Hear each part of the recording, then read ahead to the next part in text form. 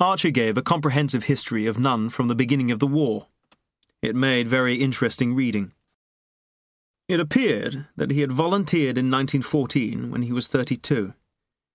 He went to France with the British Expeditionary Force at the end of that year and was wounded in the head the following spring. It was not a serious wound, and he convalesced at a base hospital, returning to the front without leaving France. Just after this, he got his commission as second loot and was wounded for the second time. It was a body wound this time, a fragment of shell in the abdomen, and he nearly collapsed. They sent him home in a pretty bad state, and he was nursed at the officers' hospital in Carlton House Terrace. This was June 1915.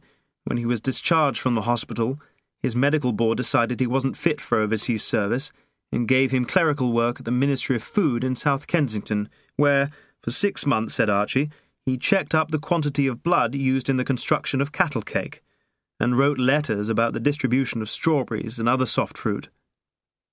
It was obvious, however, that his gifts of organization and intelligence were wasted in this subordinate job, and he seems to have pulled strings, for he was suddenly transferred from the Ministry of Food to a much more significant post at the Ministry of Munitions.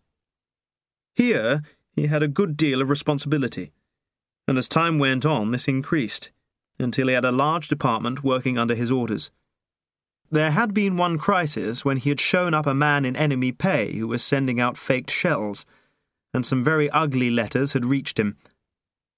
He hadn't turned a hair, apparently, and in consequence he was marked down for some recognition, and he'd had the OBE in the next honours list. Nothing, said Archie, bar influence, could have effected that transfer.